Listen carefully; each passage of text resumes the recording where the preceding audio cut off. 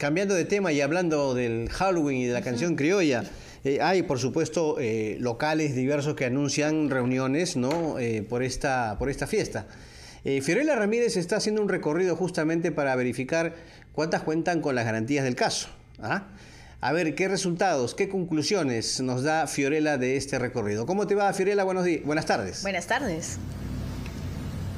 Buenas, tardes, Carlos, Joana, directo en directo. Así es, hoy muchas personas probablemente van a salir a compartir, van a acudir a diferentes eventos eh, sociales en esta noche de Halloween y también del Día de la Canción Criolla. Pero ¿cuántos de estos cuentan con permisos y sobre todo en qué parte de la capital se van a organizar estos eventos? Para ello vamos a conversar con Jorge Ortiz, director de la Dirección General de Gobierno Interior, encargado de revisar y dar las garantías en estos eventos. Bienvenido a RPP, por favor, si nos podría comentar ¿Cuántas autorizaciones han sido solicitadas y cuántas de estas han sido aprobadas?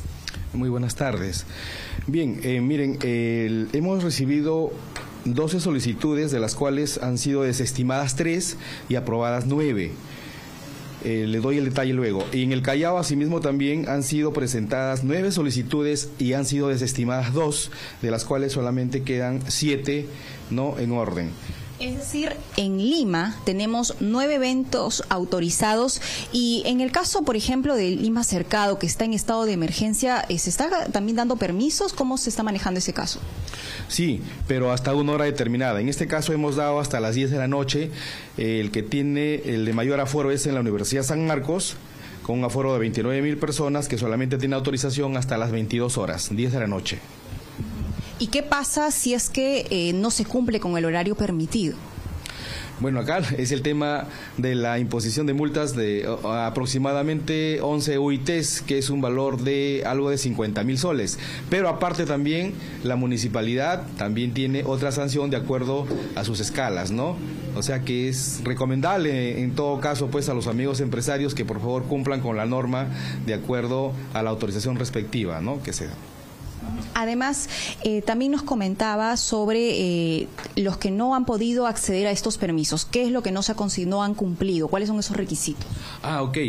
de acuerdo a la norma, lo primero que tienen que llegar es su formulario número 3, tener la respectiva autorización del informe técnico de defensa civil, tener la autorización de la municipalidad distrital, tener la declaración jurada de compromiso suscrita por la empresa y eh, la copia de comprobante de pago por derechos de trámite a realizar por el banco, ¿no?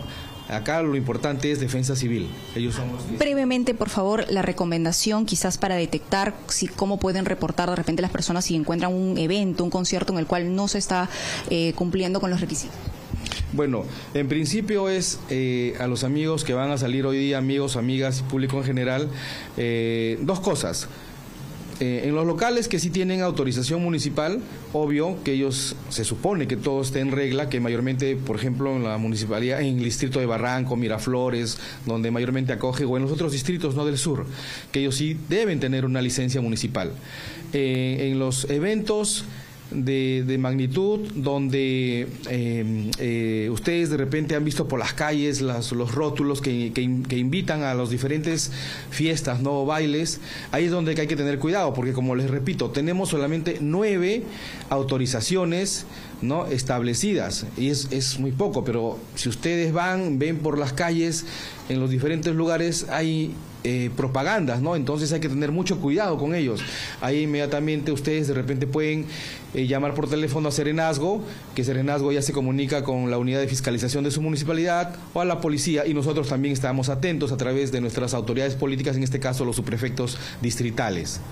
Bien, muchas gracias. Entonces, mucha atención porque solo se han autorizado, por lo menos en Lima, nueve eventos sociales y en el caso del Callao son solo siete. Y de acuerdo a lo que se ha señalado, pues aquel que no haya cumplido con este esta solicitud se va a multar con cerca de 50 mil soles, que equivale a 11 UIT y además también de una denuncia policial. Directo en directo, RPP.